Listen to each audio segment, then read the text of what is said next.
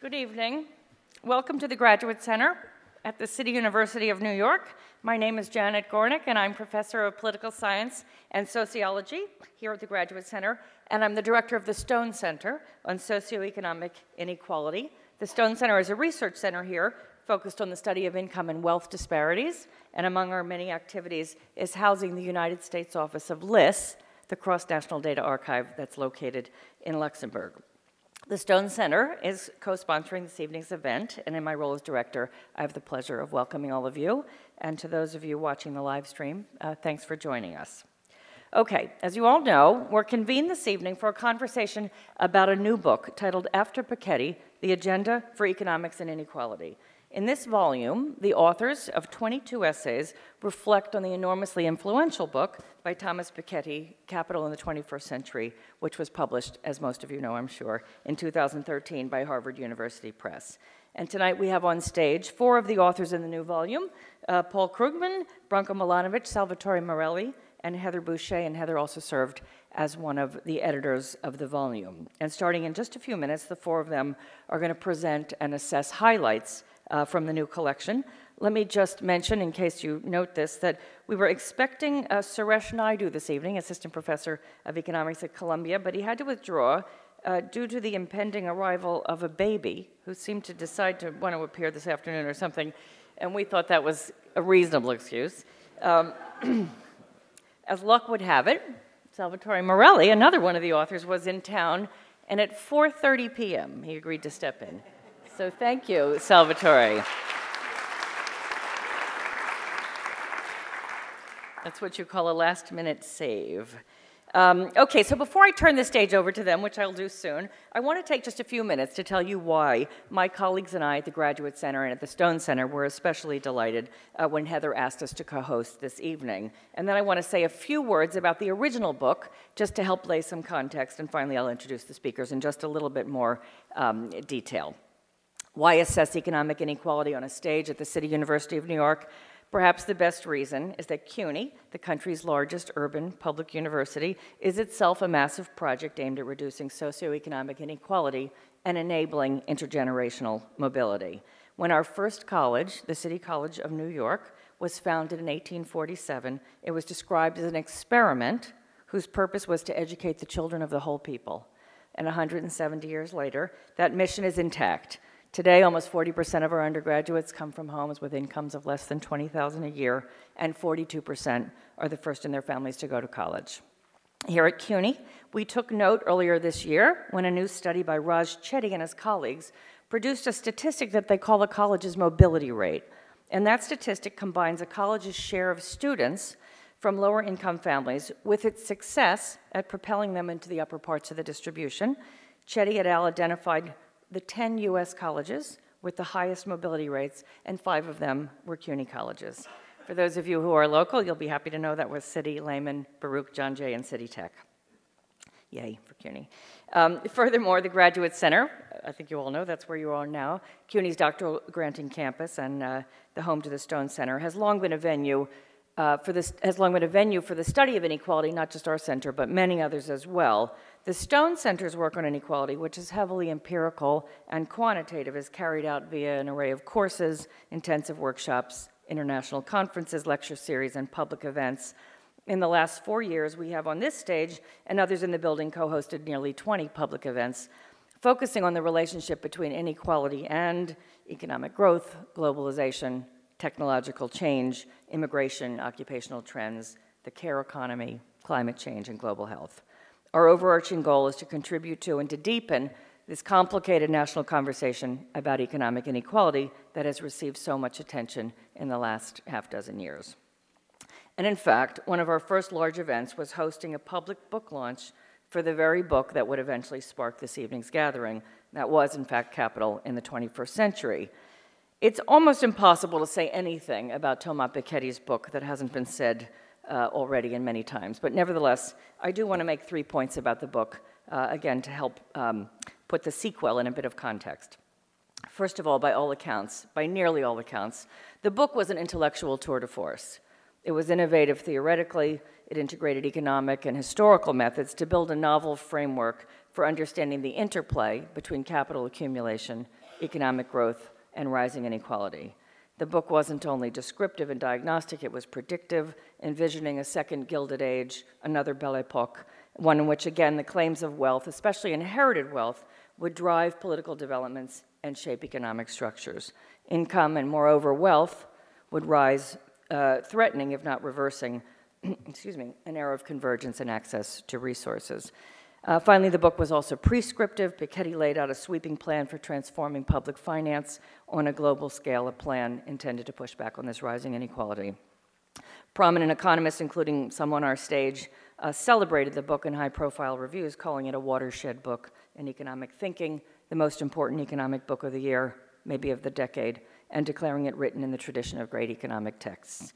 Even its critics, and there were several, admired its scope.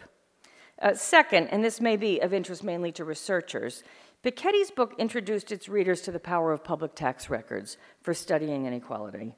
Tax data are especially useful for assessing the richest households, the exact stratum that's difficult to study using the survey data that we at LIS, our institute, have worked with and produced for so many decades. As a result, the Piketty book and the distribution of the data on which it was based complemented and enlarged ongoing methodological practices used to study income and wealth inequality uh, with a sharp focus on the most affluent. Third, the book was insanely popular, with record breaking sales topping more than 2 million copies, 3 million by some accounts, uh, translations into over 30 languages, countless public events, reviews and scores of academic and popular venues, and a film is in the works. I was often amused by seeing people reading it on the New York City subway. Uh, and I noted that my eye doctor had it sitting on his instruments table. I might add that he's a good eye doctor, but his, his grasp of the book was a little blurry. Um, so, um, in fact, the book was so popular that its popularity became the subject of study. Why this book and why at this moment in time? The answer to that question might remain one of the publishing mysteries of all times. In After Piketty, Arthur Goldhammer, excuse me, provides an intriguing analysis of what he calls the Piketty phenomenon. And as the translator of the original book, he had a front row seat during its wild ride. And yet, in the end, even Goldhammer concludes that ultimately the book's popularity defies explanation. So now here we are, more than three years later, and it's time to assess the book and its impact on scholarship, on policy analysis, on economic practice, and with steely eyes. And that's exactly what our guest this evening uh, will do. Paul Krugman is Distinguished Professor of Economics here at the Graduate Center and also a core faculty member in the Stone Center and a LIS Senior Scholar. He's well known, of course, for his academic career, a long list of honors that he's received, including the Clark Medal and the Nobel, and for his twice weekly column uh, in the New York Times. In his contribution to After Piketty, Paul lays out the fundamental economic and political thesis of Piketty's book, detailing why it is that we're now in a new Gilded Age. Excuse me. Branko Milanovic, on the far left, is visiting presidential professor here at the Graduate Center, um, where he's also a core faculty member in the Stone Center and a LIS senior scholar. Branko's main area of work is income inequality, both within countries and globally, as well as in pre industrial societies. In his contribution After Piketty, Branko presents a model that explores the effects of the rising capital share on income inequality, and he concludes that a more equitable distribution of capital is the surest route to avoiding the unequal world that Piketty projects. Salvatore Morelli uh, earned his DPhil in economics from Oxford in 2013, and since then he has served as a research associate uh, at INET, the Institute for New Economic Thinking at the Oxford Martin School. Salvatore's interests center on the economics of income and wealth distribution, macroeconomic history, and applied microeconomics. This September, he'll begin a two year position here at the Graduate Center, serving as a visiting fellow with the Advanced Research Collaborative and as senior researcher in the Stone Center, where he'll oversee a new project on high end wealth. You can hear the theme here of the Stone Center. Um, excuse me, does, uh, Salvatore is going to ask in his contribution uh, to after Piketty, excuse me, does, um, does inequality affect economic stability? If so, how? What do we know and what more do we need to know to advise policymakers on this question? And last but never least, Heather Boushey is Executive Director and Chief Economist at the Washington Center for Equitable Growth. Her research focuses on economic inequality and public policy, specifically employment, social policy, and family economic well being. In her contribution, Heather looks at the institutions that matter for inheritance and explores the role that gender disparities play in this era of patrimonial capitalism.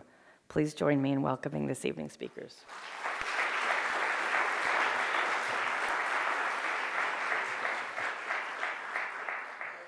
Thank you. Oh, great. This is on. Perfect. Thank you so much. Um, uh, thank you, Janet, and thank you to the Stone Center for hosting this event this evening.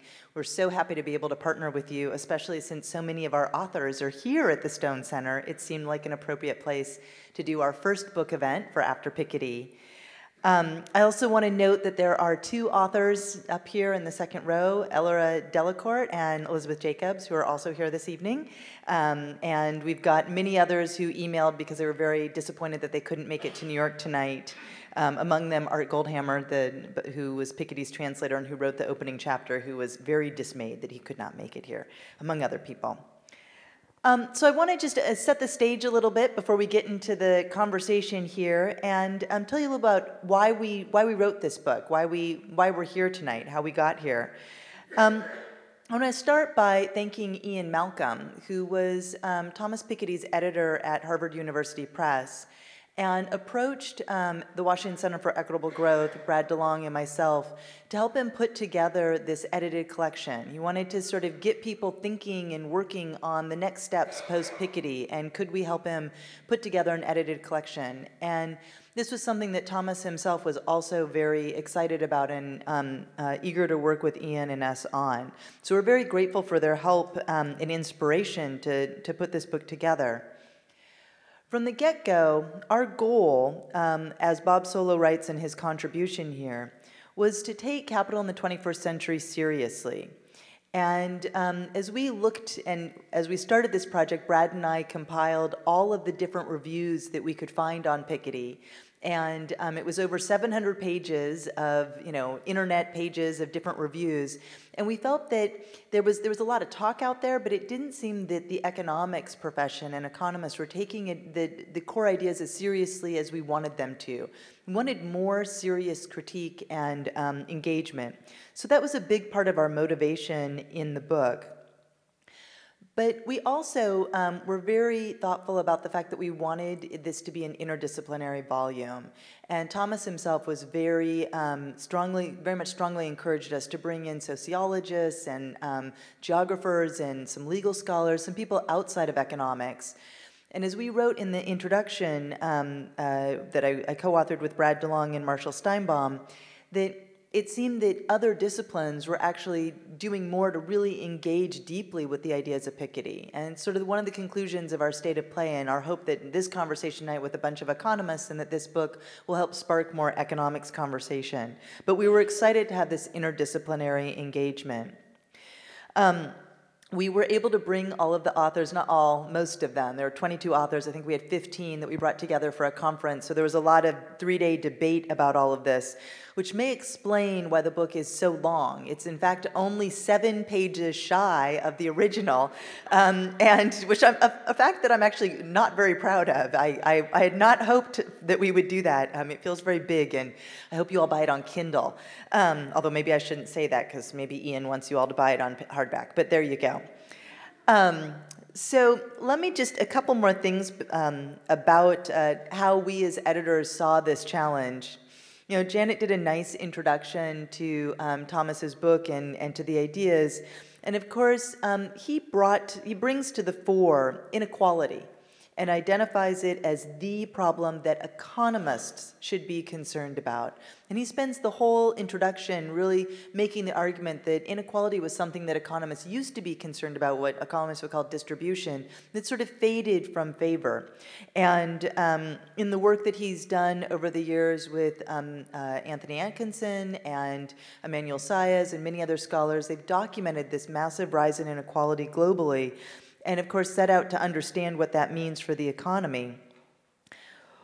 We, the editors, by the time we finished and put this volume to bed, believed that the 2016 election here in the United States and some of the other global political trends make this work actually um, more important than ever and in fact concluded in our introduction, which we put together after the election, that we thought that, that at least the outcome here in the US um, makes Piketty's core assertion that if we don't address inequality, it will have these negative outcomes on politics and policy.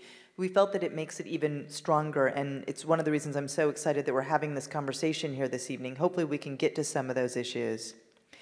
Um, we also really hope that this will spark some engagement and, and critique of Piketty, but that will move the conversation forward.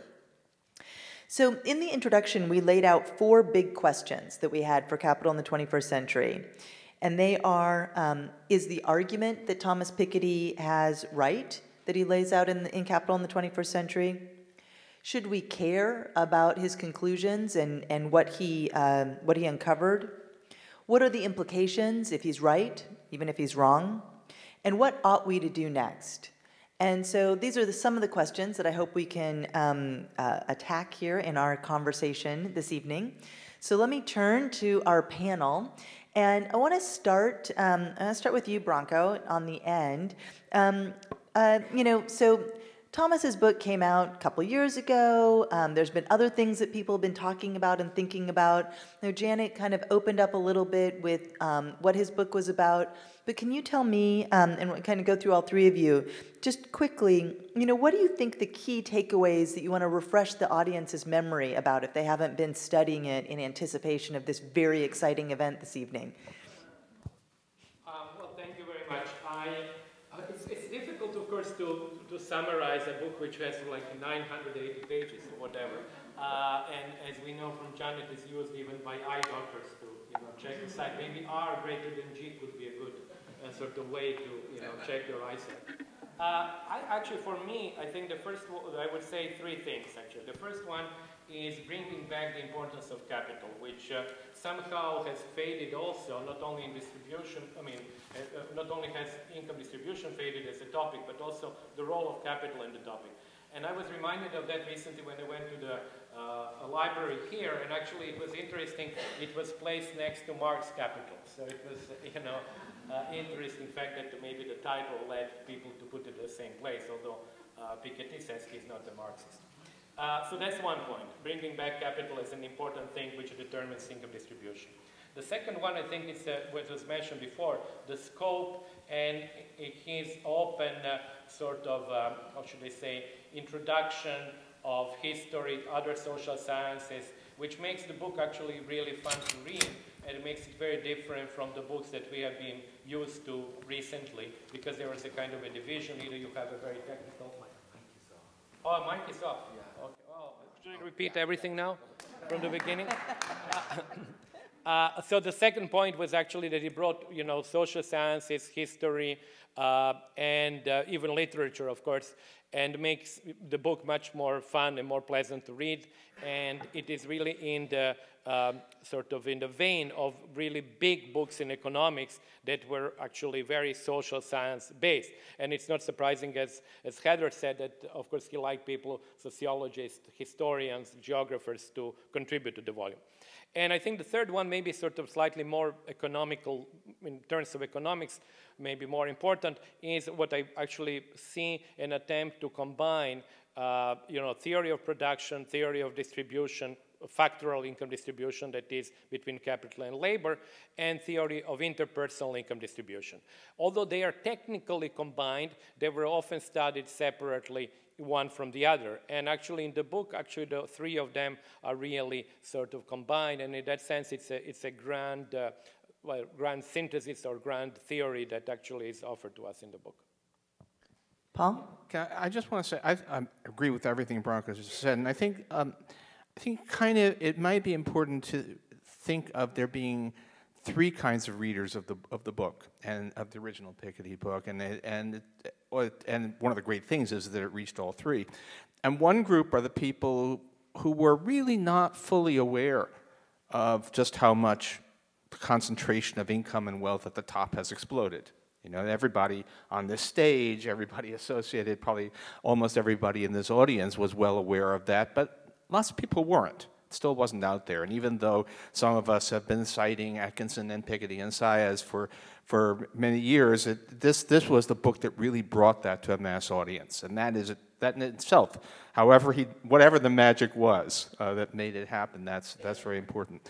Um, the second, which was, I think, news to many of us, even those of us who work in this area, was uh, uh, Thomas was uh, in effect telling us that the, that the nature of this uh, concentration of, of income and wealth at the top is changing.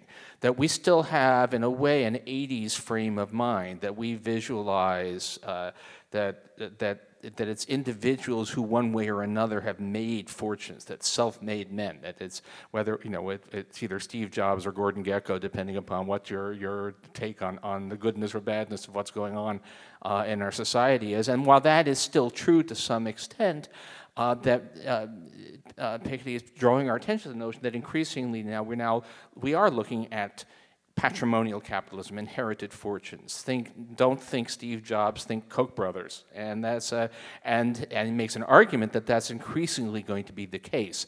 Um, and the, the, historical part, actually one thing for an American, it was very important that he says, you know, don't think Gilded Age, which is America, which is an era of self-made men. Think more Belle Epoque, late 19th century France, which is very much a, a, dynastic inherited wealth thing. And then the third thing is there is this remarkable, um, fascinating, but you know, insider technical integration of the theory of economic growth, the theory of factorial distribution of income between capital and labor, and the theory of the individual distribution of income and wealth, which he tries to integrate together. And that's the part where I think there are you know, the most criticisms, the things you can raise, but it, it's, it, it's, it's a magnificent effort regardless, and it's one of the things that led those of us who would have loved it anyway to say, oh my God, I can't believe he actually managed to do that too.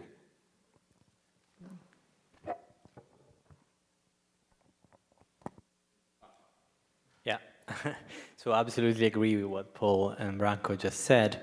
Uh, popularization of uh, inequality studies and analysis and assessment of trends and uh, bringing in into discussion the role of inheritance and patrimonial capitalism. But at the same time, one of the main, uh, I, I believe, contribution of the book is also to popularize the role of history in understanding the economic trends both at the aggregate level, but also to understand the distributional consequences of that trends for our economies. Um, history is always, uh, is usually overlooked in economics, and um, it comes very strongly out of uh, Thomas Piketty's book, and, and the analysis of what happens to uh, taxation over, over, over the history, over the, over the centuries, quite powerful, to look in relationship to distributional outcomes. And also it unveils the fact that uh, things that were quite radical were actually implemented in not far distant past. And that's, uh, that's I think, one also of the main contribution of, of Thomas Piketty's book. The other one is building on uh, Branko's comment on bringing in the capital, uh, um, uh, so the analysis on the capital income, but also on the capital uh, in the aggregate uh, production function, if you, if you wish. But I would look at that capital uh, more from the household or individual point of view It's rather the asset side of the of the balance sheets of the individuals in the households that is very important for living standard and living conditions of individuals because wealth um, is is one of the most powerful uh, uh, means to uh, um, to um, uh, to bring forward to, in dynastic terms, uh, economic advantages to our children. That's, you know, the role of inheritance that, that Paul uh, highlighted before. So the, the wealth as a role of, uh, uh, of a consumption enhancing tool for the present and the future, but wealth also as a, as a means of, as a mean of control over people's life. And I'm thinking about the role uh, and you know uh, the role of employers-employee relationship or the or the role of um, uh, of uh, extremely uh, rich uh, and wealthy individuals. Um, so yeah, wealth, inheritance, and history. Yeah, it's. I'm glad you brought up history. Um, a number of the essays in here. Um, uh, are critiques from uh, people outside of economics or thinking sort of outside of the neoclassical model for um, both praising Piketty for bringing in history and, and, questioning institutions, but then also trying to unpack that. And sort of saying, you know, and Suresh Naidu, if he was here, also talked a lot about that in his chapter, um, where, you know, still Piketty has a bit of that black box when it comes to actually how institutions work and um, I argued in my chapter and some of the uh, uh, how history plays out uh, for different groups. But I'm glad you brought that into the conversation. Um, and this sort of leads into my next question, which is about critiques. Um, so, uh, you know, what what do you think? And I think Paul, you you talked a little bit about this um, in yours around the the the, the, distribution between capital and labor that there needs to be more work there. So I'll start with you, um, and you can go off on that more other things. Like, so do we know yet, a few years out, whether or not the book is right? And um, do we have places where we think that he didn't get the economics right, or where we where we still have big questions that we want that we think people need to address? Okay, um, so no, we clearly the, the, the big thesis is going to take us a generation to, to find out whether, whether the big thesis about the transformation is right. I mean, I, there's enough in there to say, look, he certainly caught on to something that wasn't there before. You can just take a look at your, um, you know, your, your Forbes 400, whatever, and, and, and see that, that there are a surprising number of people who are who, who, who inherited their wealth and also a surprising number of people who are 80 years old, which means there's going to be a lot more people who inherited their wealth in that group uh, as we go forward a bit. Um, so that in itself is revelatory, but whether we really are going to be seeing a shift increasingly towards patrimonial capitalism um, in the next 20 years, we don't know yet. Um, there are, um, and it, it remains true that to date, most of the explosion of income concentration at the very top has not been about capital. It has been about compensation of some form. It has been about bonuses and, and executive pay. Uh, and uh, there's a lot of interesting discussion in um, in, in, capital in the 21st century about that, but, but not nearly the level of rigor of explanation because it's hard when nobody really fully understands it. And uh, you know, I think he, his, his discussion is, is good on that. There's a little bit of uh, the place where I think there's the closest to him being wrong is not quite right the quite the right word, but where I think there's a really serious critique from the economist's point of view, and I can, you know, uh, the historical and social issues. Uh, I'll defer uh, to other people. Um, but the, um, he makes a lot about the rising ratio of capital to income, that we're, we've been accumulating capital in a way you know, that we basically had a, uh, a lot of capital was destroyed by the, by the wars of the 20th century, and then we restore it and we get a much more capital. And he talks about this as a story of there's more and more um, capital out there, and that this, given certain parameters, whatever, tends to raise the capital share of income even as it reduces the the um, uh, the rate of return. Um, and the the thing about that has become clear is that an awful lot of that rise in the value of capital is real estate. So um, a lot of the Piketty book is written as if there, there's, there's capital and there's labor, which is true, but an awful lot of the capital by value turns out to be housing. And that's a, um, that just change your picture, I think, significantly. It doesn't mean that the, the underlying thesis is wrong, but it means that, that it's, a, it's a little harder to make his case than might otherwise have seemed to be the case. Well, let me ask you just, um, well, let me, I'll, I'll, let me go on to Salvatore. Do you want to take next, you know, what you think are some of the major criticisms and, and issues where we, you still see big questions? Yeah, from, from the economic point of view, um, I agree with Paul. The, the, the issue of capital and wealth is a, is a problematic one, also from the the determinant of what uh, gave rise to a, an increasing capital income ratio or an increasing wealth inequality and whether most of the wealth inequality comes from real estate is, is, is somewhat different than uh, coming from uh, an increasing concentration of ownership of firms or stock ownership. Um, and therefore the question is, uh, we're moving uh, from a classic, if you wish, uh, patrimonial capitalism to a middle class patrimonial capitalism, which, which, is to some extent, from the policy point of view, is harder to address. There is much more resistance, I believe, uh, in, for instance, well, real estate wealth taxation, for instance, in the sense that it, to the extent where real estate and um, a strong increase in uh, in wealth uh, e evaluation of real estate is actually impairing uh, growth and equitable distribution of access to opportunities and wealth. Sorry, I just can't resist, but you know, we can easily envisage a sort of Belle Epoque thing where in, inherited uh, capitalists with vast industrial empires end up dominating the political process. But to imagine that you know modern economies could be dominated by real estate tycoons is inconceivable. Uh, Even. yeah, uh, yeah. I, I don't know whether I said that, but yeah, I agree. if I said that, maybe I should revise my English teacher. couldn't help myself there.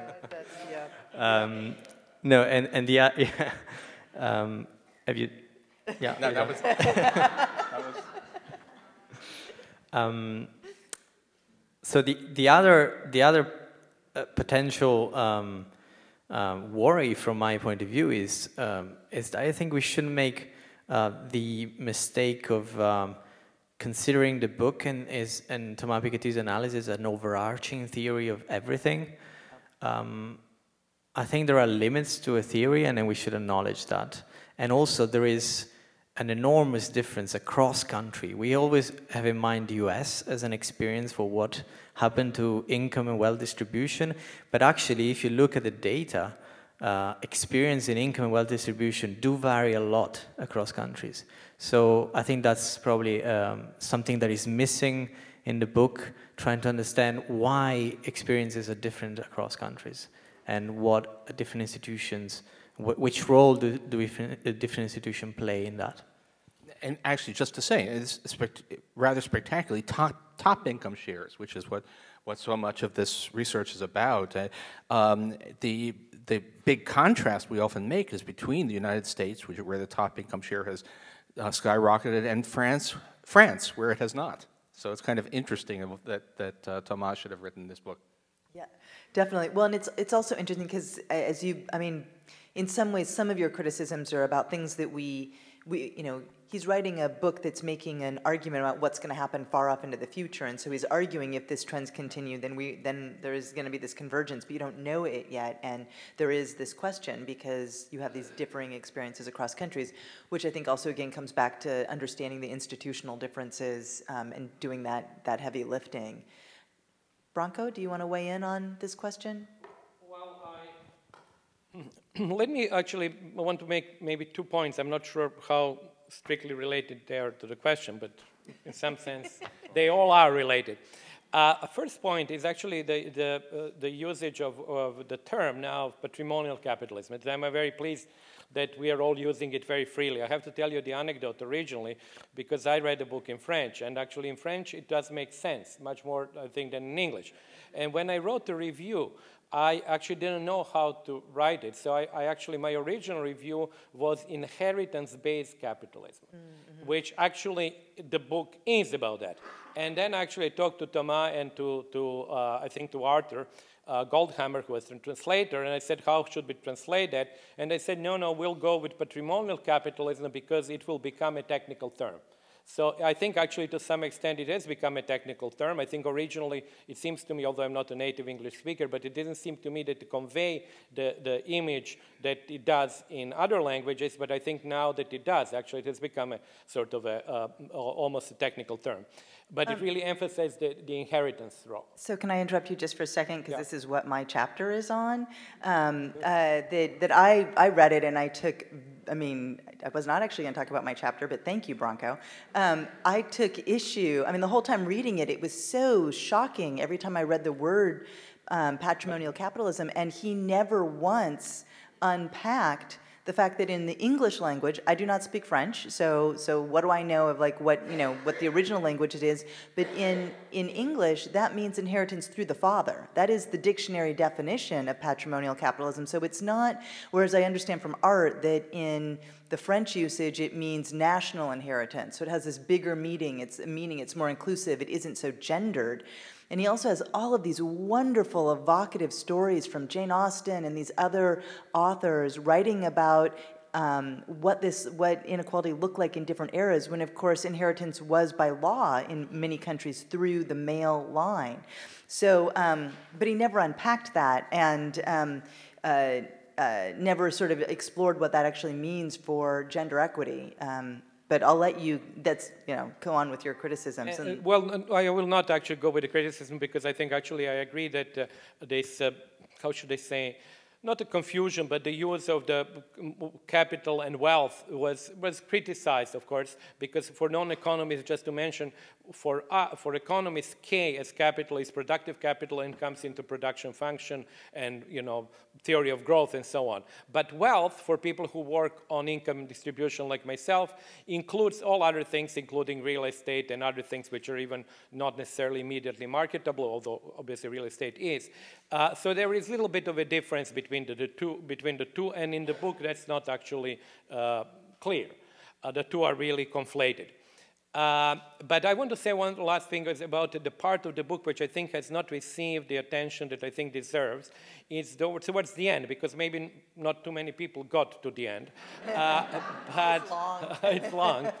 Uh, but there was, uh, towards the end, actually, there is an analysis based on the French data only, because that's the only country which apparently has the data like that, which shows what percentage of people would inherit uh, amount of money which would allow them, given expected life, ex uh, given life expectancy, to, to, with that money to live on a sort of, um, uh, sort of medium or, or, median level of income of that country, which is actually a very impressive statistic because when you sort of think of that, if I inherit something, that would actually allow me to live at the mean income level of my country until I die. So in that sense, it is really a very strong sort of, um, it brings back the role of inheritance very strongly.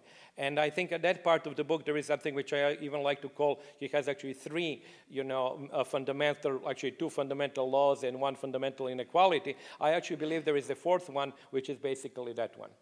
Well, a number of the chapters um, also deal with the human capital component of this and talk a little bit about the inheritance aspects, what elites are leaving to their children in terms of better access to college and and um, human capital, which we're not going to probably talk about too much on this panel, but I think it's worth at least noting um, that piece of the inheritance as well that he he he uh, uh, doesn't think is an important part of the story. Um, I want to sort of keep on this this topic here, and I actually want to turn to you, Paul. Um, you know, one of the one of the issues with the the return to the so-called patrimonial capitalism is um, is that it it that today it is still the case that most people are getting most of their income at the top from labor income, not capital income.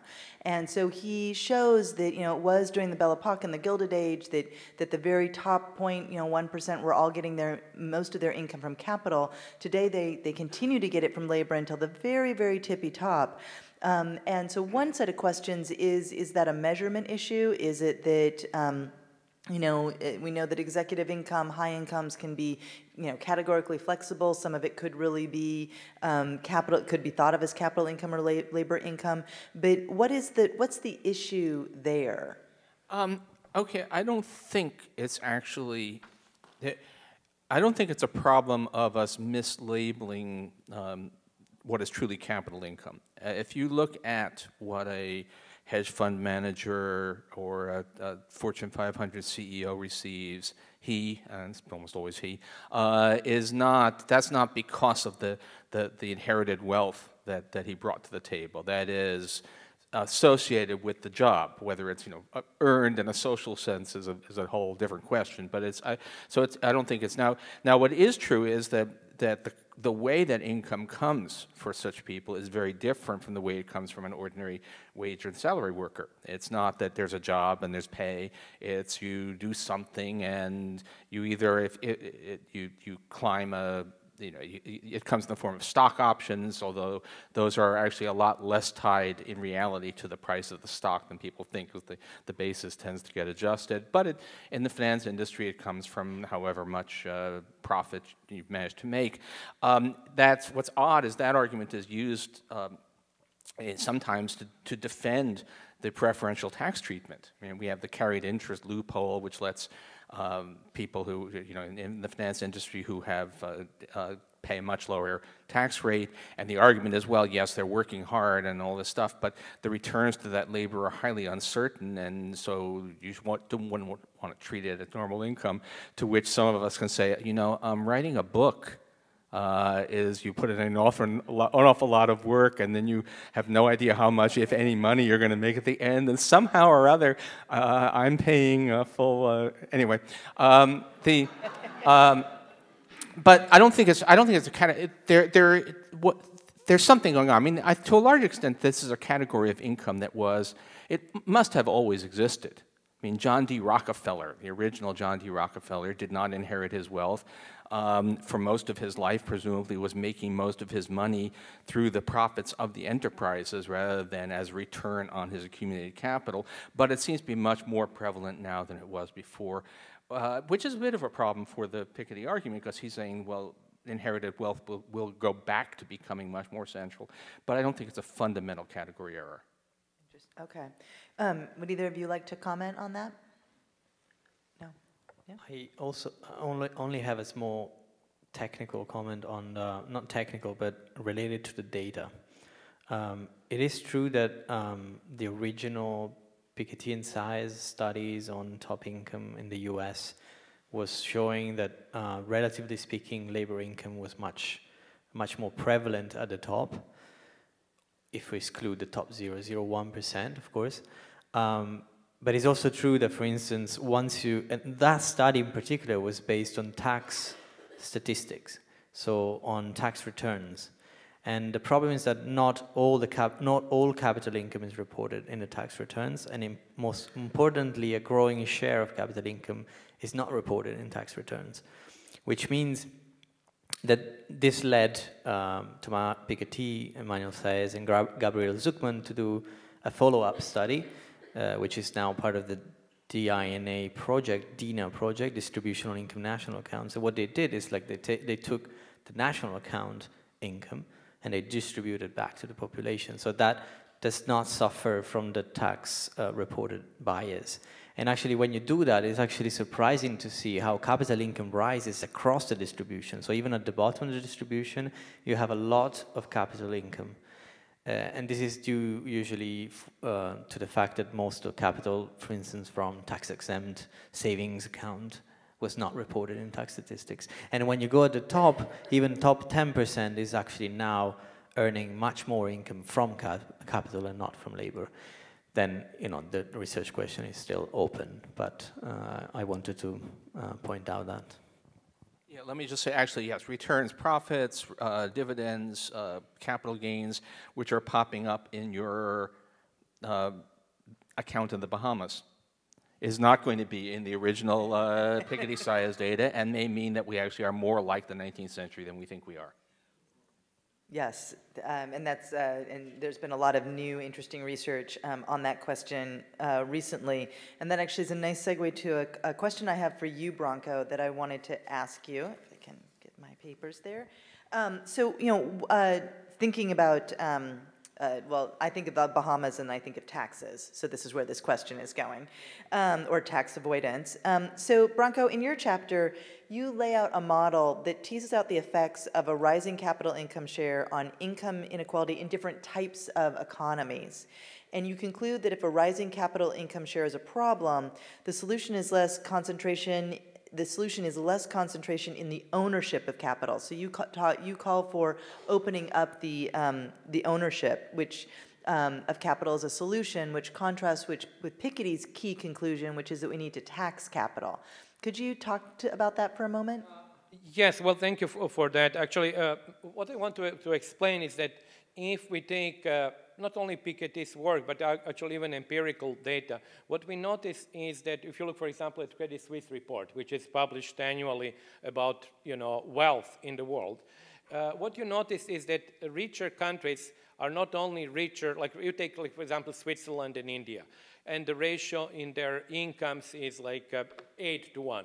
But the ratio in wealth per person or per adult is not 8 to 1, it's like 15 to 1. In other words, rich countries are not simply, uh, uh, in terms of wealth, richer in, uh, than poor countries proportionately to how much better off they are in terms of GDP. So in reality, they become richer also in terms of wealth.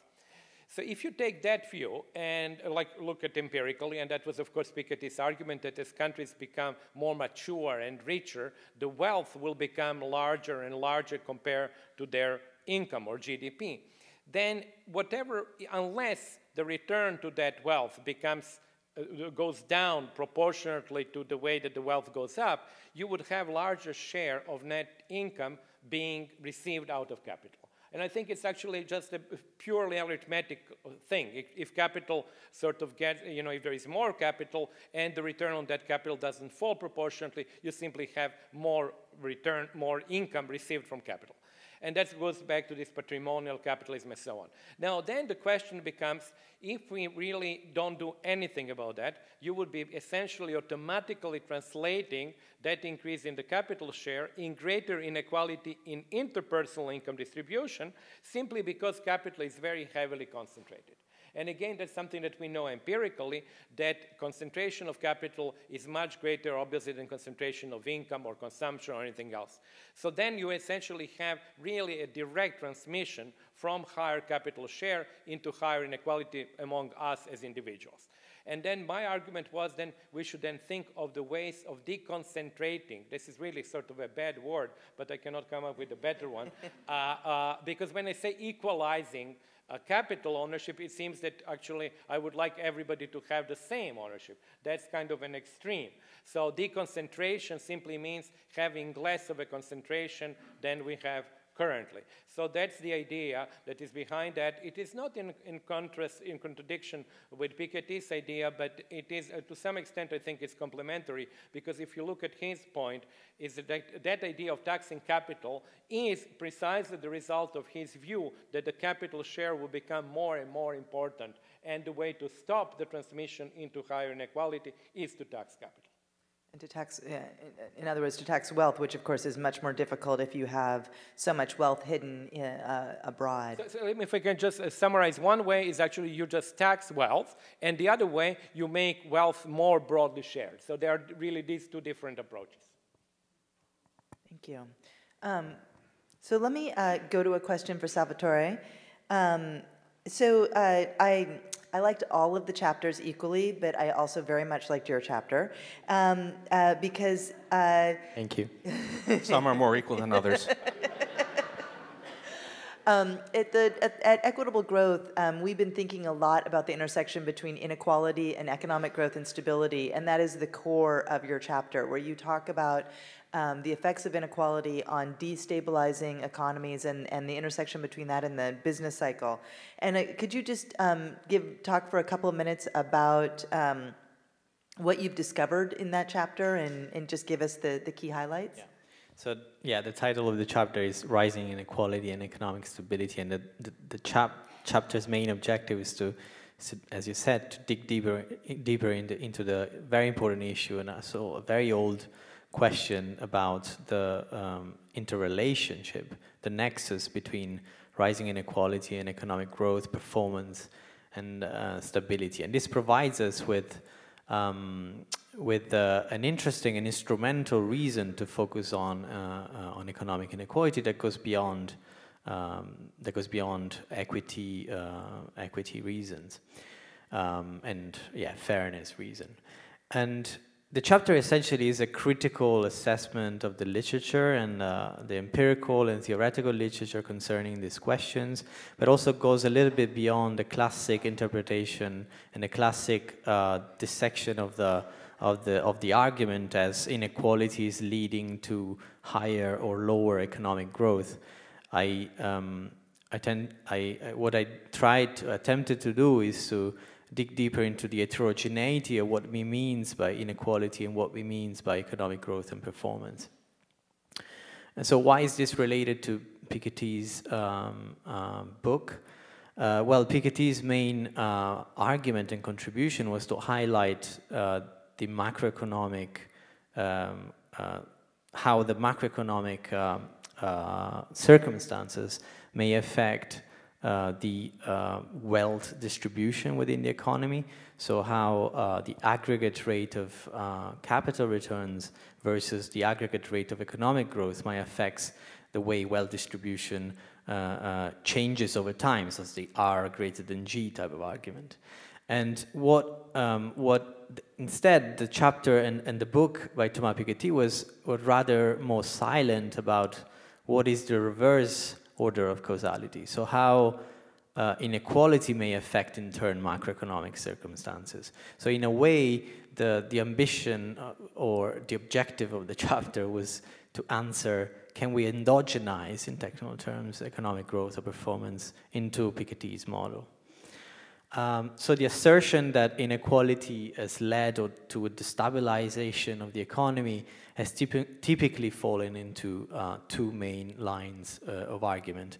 One uh, is related to how inequality may affect economic growth, so GDP growth, um, um, income growth and performance more generally, so volatility, etc.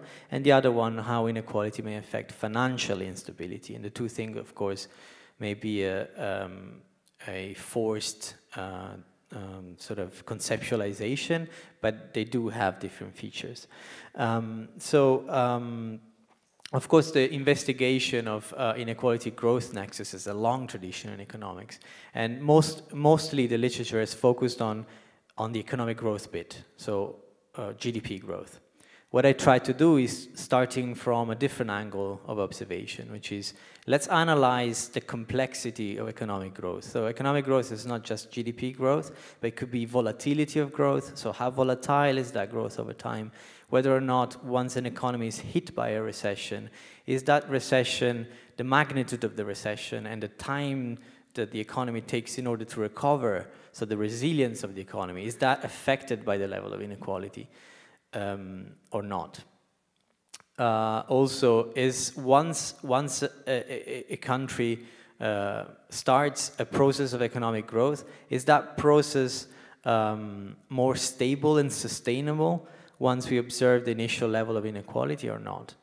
And these are also uh, questions that recent literature has explored, and, uh, and that's why uh, the debate has been enriched, enriched by these uh, different new questions. For instance, um, let's start uh, from the idea that uh, inequality is leading to volatile aggregate performance, so more volatility in the economy. This is uh, an idea that in theory was also present back in 1930 with the famous account of the great crash by, uh, by uh, Galbraith. And in his book, one of, the, uh, one of the determinants of potential instability in the economy that led then to the crash was uh, in, his, in, in, a passage in his book, he, he, he highlights the role of income inequality, especially at the top, and how economy the economy, in that case the US economy, was particularly um, affected by the volatility of investment and luxury consumption that was concentrated at the top. And this argument was resonated, for example, in recent analysis by uh, Bob Frank, uh, Rob Frank, uh, who summarizes the problem very well with a, um, with a quotation where he says, America's dependence on the rich, which is the increase in top income shares, for instance, plus the greater volatility among the rich equals a more volatile America. So a greater share of the pie, more volatile share of the pie equals uh, an aggregate income which is more volatile. A recent IMF study has also uh, estimated that more than 70% of US changes in consumption between 2003 and 2013 derived from uh, top 10% behavior, like the income within the top percent. Um, another, uh, actually, Piketty himself had a, had a, had a theory with, together with Banerjee and Aghion in, 19, in late 90s, where they endogenized the business cycle and they linked that to wealth inequality, especially between investors and savers. But yeah, you want to jump in? Oh, no, okay. Well, um, let me, can I jump in and, and, and as I want to actually tee a question off exactly what you just said. Um, and I, but I also want to give the audience one um, little heads up, which is that in about four minutes, I'm going to turn to questions from you all. So if you could be thinking now, um, there's microphones. So if you want to get up and get in line, um, you feel free to do that. But uh, but actually, probably better to just stay seated because it'll be really obnoxious to stand up and walk through the crowd. So I'll call on people. But um, just get, get ready for that. But let me tee off exactly what we were talking about the about the consumption patterns at the top and that leading to volatility. Because I mean that has been a conversation that we've had a lot, especially since the financial crisis, and um, especially as we were thinking about how we pull out of it. And um, somewhat related to that, I actually wanted to trying to segue here into politics just a little bit just before we before we go to opening the questions you know one thing that you wrote about paul is that you know, sometimes uh, you wrote, quote, in your piece, that sometimes it seems as if a substantial part of our political class is actively working to restore Piketty's patrimonial capitalism, end quote. And you also reference the French Third Republic, which Piketty brings up in, in Capital in the 21st Century, which is founded on very egalitarian notions, yet still managed to be an extremely unequal society. Most of the wealth was still controlled by a small sliver of society. So if we have this challenge with this higher inequality, um, and it, you know, and, um, uh, with folks at the top, what what do we need? What you know, and not just for the United States, but for other countries, that would be an effective counteractive force to this entrenchment of wealth and entrenchment of political power. Okay, um, so three quick points. First, uh, one of the, the, the one piece that really impressed me with Piketty it was the discussion of the Third French Republic, which is liberté, égalité, fraternité, and yet uh, politics is dominated by vast inherited wealth dynasties. And, and a, a point he makes is that the intellectual domination, that, that the fact that the, that, that inherited wealth, in effect, managed to set the terms of discussion, managed to define what was responsible, what you could do. And, and you, know, you can easily see how, looking at a lot of things that are going on in America now, how that happens. We can talk about you know, foundations, we can talk about influence, we can talk about all of those things. Um, then there's, but there's a countervailing thing, which is also stuff I should have known, but where he talks about the United States and the progressive era in the United States when remarkably, which was also vastly unequal society, but in which it was quite common for people often people who were themselves um, very much on the top class, to express ideas that would be regarded as radically left wing today, right? It was perfectly common to talk about the dangers of, of vast wealth, to talk about the importance of high inheritance taxes to prevent concentration, and you would even have people, I believe, including Theodore Roosevelt, saying things like, uh, we would want to tax this wealth even aside from the revenue. We want, we want to make sure that these great fortunes do not accumulate. And anyone who tried to say that now would be you know, accused of being a, a radical Marxist, which suggests that maybe the dominance of patrimonial wealth is not, the intellectual dominance is not as large as we might imagine. But the last thing to say is countervailing institutions. You want to ask what else can serve, and it's very difficult. Maybe my imagination is limited, but it's hard for me to think of anything that I know in my history that is comparable to the historical but now largely vanished role, at least in this country, of unions. Organized labor has always been the huge counterweight to, uh, to organized wealth. And, uh, and that diminution, you know, if, if, if you ask me what would be the one thing that I could would, would want to see happen to get us back to you know, what we used to be, it would be somehow or other to restore the role of a substantial, effective labor movement. Um, three cheers to that. So, um, are there any questions out there? Yes, so people do need to go to the mics. Rick, go ahead. All right, good for picking an aisle seat there. Hi, uh, Rick McGahey with the Institute for New Economic Thinking. This is really kind of an economics question. Uh, there's been recent uh, literature and discussion in economics with a, a, different framing of inequality, and I'm thinking of the work on superstar firms or in, intra-industry firm, the kind of stuff that David Autor, Larry Katz, and other people have been doing that seem to focus on a driver of inequality and a declining labor share overall as being rooted more in uh, call them oligopoly firms, but large firms really that are controlling data, controlling production. I just am curious, and maybe this is a future research agenda. How do you think about those explanations for inequality in reference to kind of a Piketty-driven, more kind of ownership and build-up in generational patrimonial capitalism? Just, um, um, there, there's something, there, there, are a couple of things, uh, uh, quick answer. Um, the, the arguments that say that inequality is largely about inequality between firms, um, even I, um, it's interesting research at some level. I'm not convinced, but that's that's technical discussion that we need here. Um, the uh, the role of monopoly power, of increased market power, uh, does look increasingly significant. Something something is causing the the capital capital, the, the, the, the, share of labor income in national income is declining, and one plausible explanation is, in fact, growing monopoly power. So that the decline of antitrust enforcement may be other forces.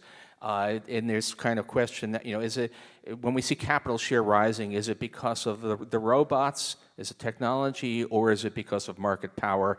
And for, there are a lot of reasons to think that market power has to be a large part of the story.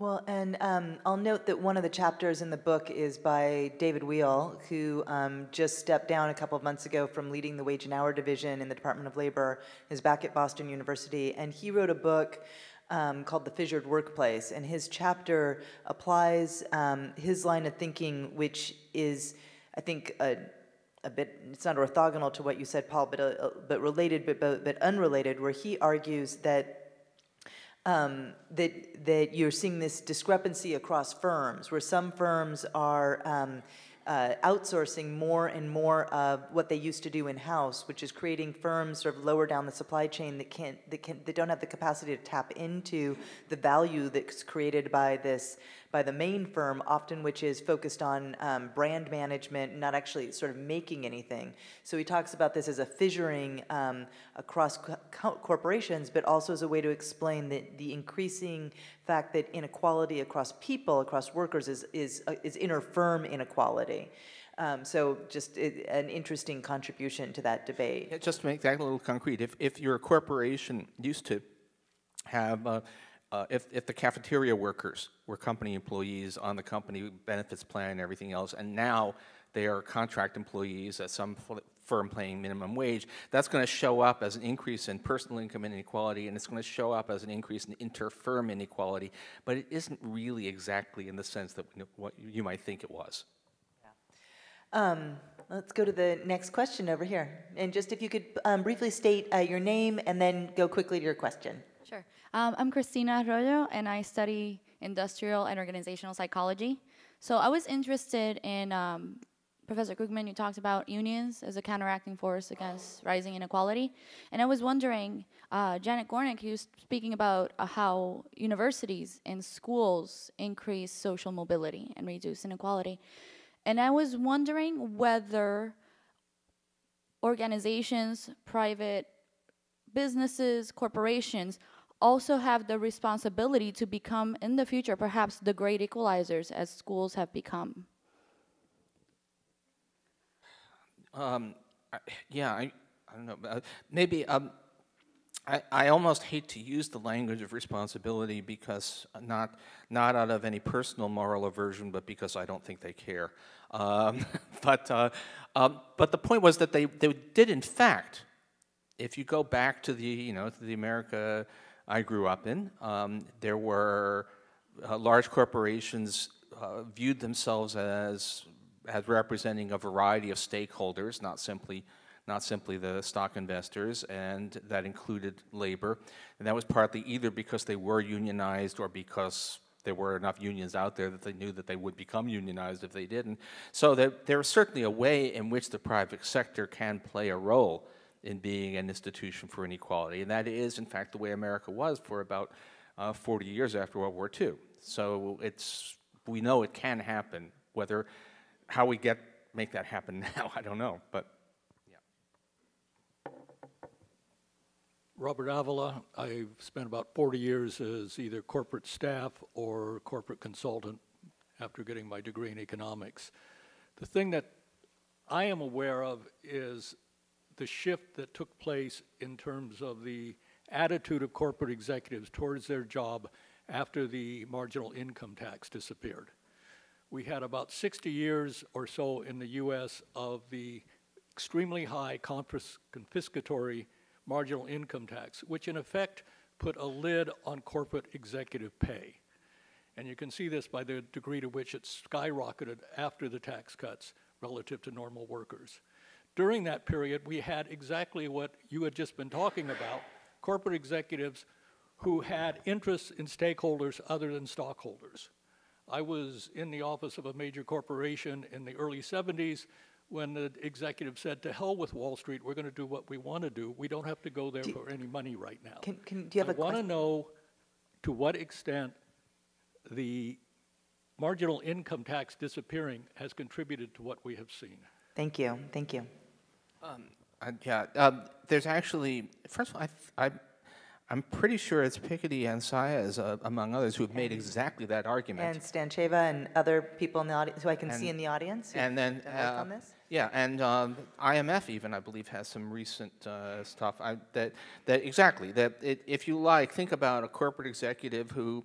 Um, has various interests. I mean, he, he, wants to be rich, and uh, he also does wants to not have his employees hate him and doesn't want to, you know, and um, uh, and if there's a 91% marginal tax rate, as there was in the in, in the 50s, um, he's probably going to pay more attention to the, um, the to the non-personal pecuniary aspects of the job, and so part of the explosion of top incomes probably does reflect the fact that we've made it possible for people to keep whatever they get by by making life harder for other people. There is certainly economic empirical evidence to that effect. So I have a question that I want to throw out to the to the panel here. Um, I'll get to you in a sec. Just one second. Let me let me throw this one. At, well, I'll let you ask your question, then I'll ask my question. Mine is quite quick. My name is Tracy Rochek from the United Nations, and my question is: um, We're seeing a lot of articles currently related to real estate and removing the tax benefit for. Um, owning basically real estate, especially sort of in the housing market, and it's positioned as a way to degentrify the entire process. Given the fact that this uh, book is looking at the economic implications in other realms, I'm wondering, I'm very skeptical of these articles currently, and I'm wondering if there's other political implications, social implications, zoning, et cetera, that you can maybe think of beyond the economic arguments that are being positioned on this. We need another conference for this one. It's, a, it's a huge issue. It's a very important one, but it's a huge one. It is. I mean, I, I will just say because I think I think um, it is a big question. One thing I'll note on it. I mean, we already have talked here this evening that a lot of the capital um, that Piketty measures and his colleagues is about real estate, um, and he calls for taxing capital, which you know what we have in the United States, where we do tax capital because we tax real estate, but we also give this massive bonus if you borrow money to purchase that real estate, so it is very complicated because um, these things work in opposite directions. Anyone want to take that on, or or I can go to my question. Branko, you look like you you might. I'm going to go to my question, then you can take that one too. Okay, you you get something. I can tell you're going there. So I wanted to end on this question of politics. Um, we're living in this, you know, uh, uh, as, as my notes say, there's a lot of elections going on right now. Um, so there's an election that, of course, just happened in France. We had an election in um, the fall here in the United States. There's elections coming up in the United Kingdom.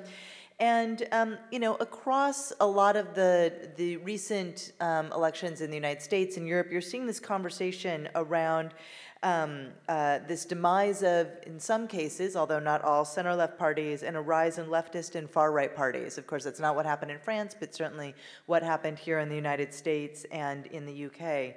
And there's other countries where. Um, this appears to be happening as well. So I wanted to end on this on this note, and I want to go through each of you. I'll start with Branko. Just, um, do you think that Piketty's political economic analysis has anything to say about the current moment, either here in the United States or in a, another country, pick your country, whichever one you want to talk about. And do you think that his case is strengthened or weakened in terms of current events? And I talked about in my opening that we, as the editors, as we were putting together our introduction, felt that the case was strengthened by the U.S. elections. But I'd be very curious to sort of end by your um, your analysis of, uh, of, of what you all think. Um, well, this, this question took me a little bit by surprise, so I, I am really trying to improvise. So let me maybe make two points. The first point, which I think is uh, falls into the kind of category of the limits of the book, is that the book is very much Western-centric, actually Eurocentric slash United States.